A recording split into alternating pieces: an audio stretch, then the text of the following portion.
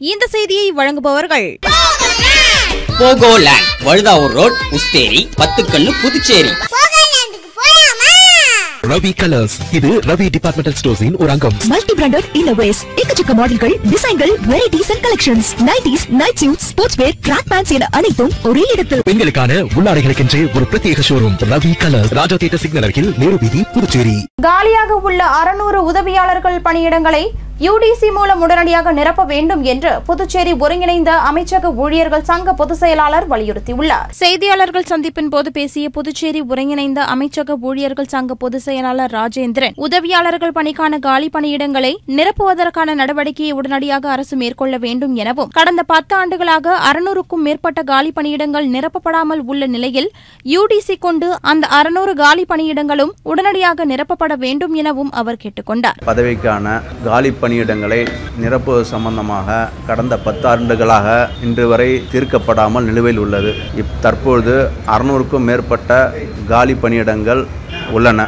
இதனை அதாவது யூடிசிகளில் ஏழு வருடம் முடித்து மற்றும் ஒன்பது வருடம் முடித்த யூடிசிகளை கொண்டு நிரப்பப்பட வேண்டும். இதற்கு அமைச்சரவை முடிவு எடுக்க வேண்டும் என்று இந்த கூட்டத்தின் வாயிலாக கேட்டுக்கொள்கின்றேன். இந்த செய்தியாளர்கள் சந்திப்பின் போது புதுச்சேரி ஒருங்கிணைந்த அமைச்சக ஊழியர்கள் சங்க நிர்வாகிகள் மற்றும் ஊழியர்கள் உடனிருந்தனர். மருந்துகள் விலை நோயாளிகளை கவலைப்படுத்துவதாக ஜிப்மரில் நடைபெற்ற கருத்தரங்க நிகழ்ச்சியில் பேசிய துணைநிலை ஆளுநர் தமிழிசை சவுந்தரராஜன் கூறியுள்ளார். ஜிப்மரில் நடைபெற்ற மக்கள் மருந்தக விழிப்புணர்வு கருத்தரங்கை துவக்கி வைத்து பேசிய துணைநிலை ஆளுநர் தமிழிசை சவுந்தரராஜன் மருத்துவர்கள் நோயாளிகளுக்கு மருந்து சீட்டு எழுதும் பொழுது அந்த மருந்துகளை நோயாளிகளால் வாங்க முடியுமா என்பதை கவனத்தில் கொள்ள வேண்டும் என்றும் அத்தகைய சூழ்நிலையில் மக்கள் மருந்தகங்களுக்கு செல்ல நோயாளிகளுக்கு வழிகாட்ட வேண்டும் என்று கூறினார். மேலும் மருந்துகளின் விலை நோயாளிகளை கவலைப்படுத்துவதாகவும் விலை அதிகமாக இருந்தால் மருந்துகள் எடுக்க வேண்டிய கால அளவை குறைத்துக் கொள்கின்றனர் எனவும் கூறிய அவர் தரமான மருந்துகள் மிக குறைந்த விலையில் மக்கள் மருந்தகங்களில் கிடைப்பதாகவும் மருந்துகள் தொன்னூறு சதவீத குறைந்த விலையில் கிடைப்பதாகவும் தெரிவித்த அவர்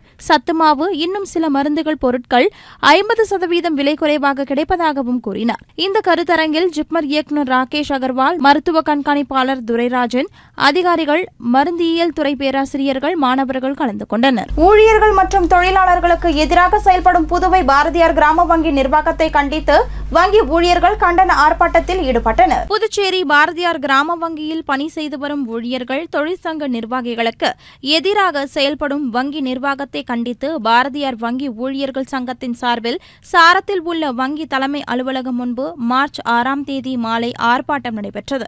ஆர்ப்பாட்டத்திற்கு ஊழியர்கள் சங்க தலைவர் கண்ணுசாமி தலைமை தாங்கினார். அரசு ஊழியர் சம்மேளன பொதுச் செயலாளர் ராதாகிருஷ்ணன் தமிழ்நாடு கிராம வங்கிகள் ஊழியர் சங்க தலைவர் ஆண்டோ கில்பர்ட் பொதுச் செயலாளர் அறிவுடை நம்பி தலைவர் பாரதி ராஜா உட்பட ஊழியர்கள் பலர் கலந்து கொண்டு கோரிக்கைகளை வலியுறுத்தி கோஷங்களை எழுப்பினர்.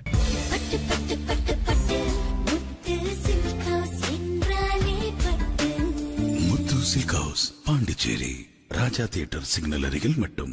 புதுச்சேரி உங்கள் ஏஎம்என் டிவி செய்திகளை யூடியூபில் உடனுக்குடன் காண ஏஎம்என் டிவி பாண்டிச்சேரி சேனலை சப்ஸ்கிரைப் செய்யுங்கள். பெல் பட்டனை மறக்காமல் கிளிக் செய்யுங்கள்.